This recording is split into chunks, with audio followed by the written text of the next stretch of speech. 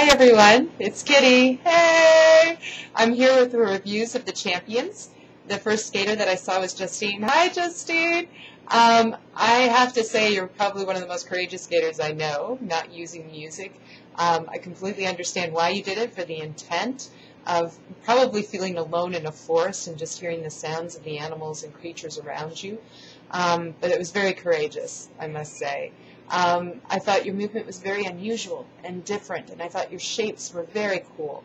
Um, my only problem was I, I did miss the music. I, I feel it might have you know accentuated what you were doing and maybe build tension. For this reason, I thought that the piece was very one level, and I I wanted to feel a little more tension or or somewhere you were going with it.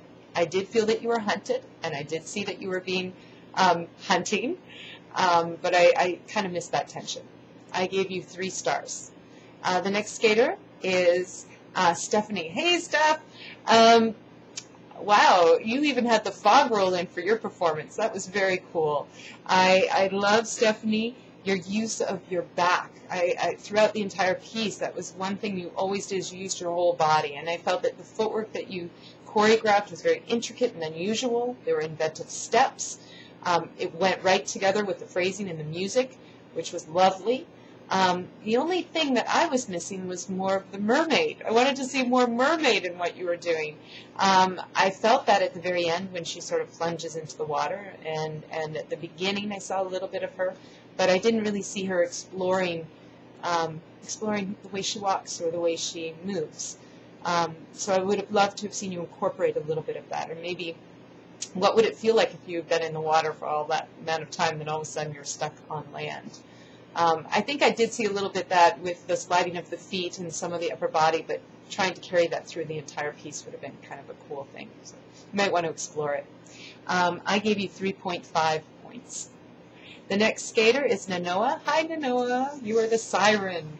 Um, I I really felt the mystery and the heightened tension in your piece. I could feel you going with the music, building, building, building, building, building, um, till the final scene. You know, the death. Um, but my feeling was it was a little static at the beginning. It took a little while to to set in motion. Um, be aware it's hard to keep an audience watching a skating event or a skating performance when you're you're standing still for a lot of the time. Um, I understood why you did it. I think it's a good choice maybe at the beginning, but you might want to come up a little bit sooner um, and find some movement that would incorporate that feeling. Um, and then also, uh, I wanted to see a little bit more interaction with the audience, and I, I don't know if it was because of the hair getting in the way of the face, um, but realized that you can add so much more even if it was just the eyes that were being seen. I understood the hair because it gave it mystery and sort of gave it that, chaos and turmoil. Um, but I felt I was missing seeing your face. I wanted to see something there. And as a choreographer, be aware of that, um, that you want to play more to an audience. All right. Uh, Nanoa, I gave you 3.5 as well. All right. My next person is Kate. Hi, Kate. Or it's, it's a snake and the viper. Um, I love your choreography. I thought it was great. I love the rattle motion and movement. I thought the end was fabulous. I felt the, the devil within the serpent kind of feeling there. Um, you had a couple moves where you did a zigzag and had Adam move back and forth. I thought that was great as well. Um, my thing that I wanted to see more was with is with opposition, playing with that thought, even with the snake. Um, I saw you use the hand as, as part of the head. I would have loved to have seen the opposite hand do something else.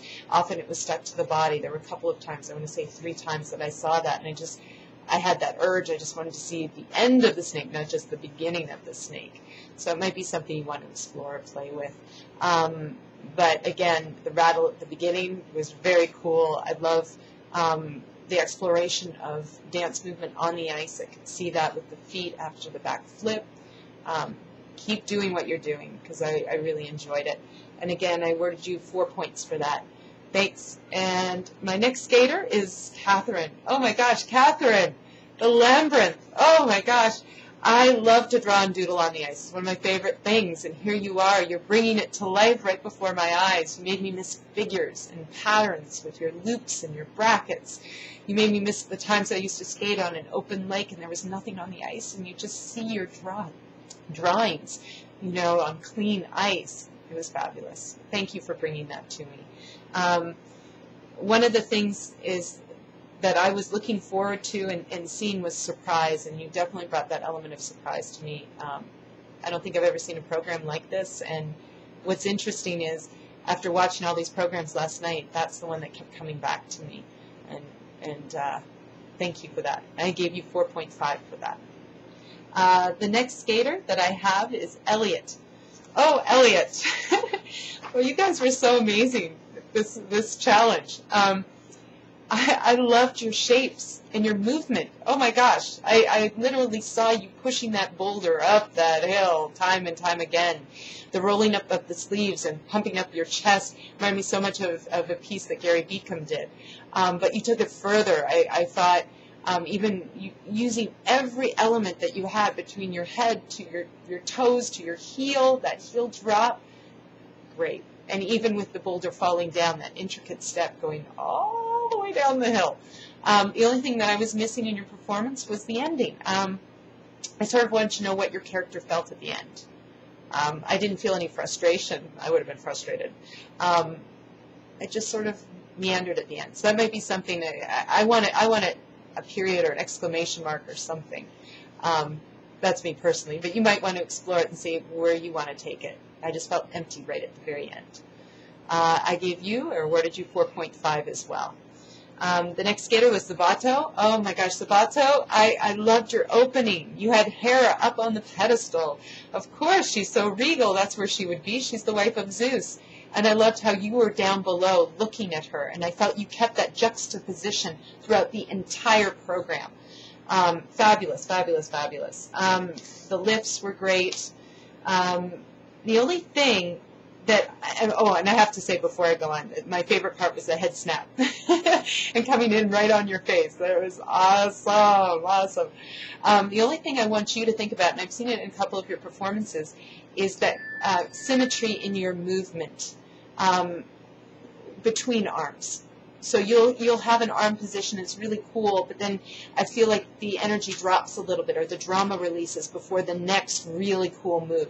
So I, I would love for you to, to find a way to feel the energy ball work from one movement right into the next. That symmetry really, really helps when you're when you're putting on a production.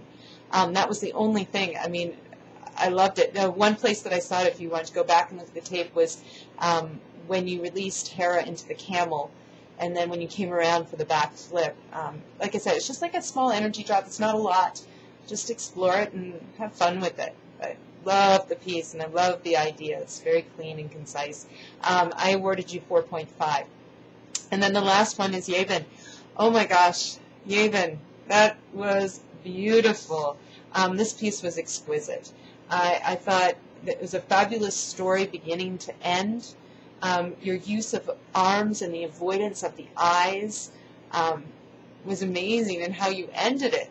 You know, you waited until that last moment, and then it was frozen in time. Oh, it was great. I felt all the connectedness between you and your partner. There was meaning and feeling with everything that you did. Um, I, I just loved it, and I gave you a five. Thank you all for for the most amazing afternoon of skating that I've seen in a long time, a very long time. Have a wonderful rest of the competition. Good luck with your next challenge. I can't wait to see it. Bye.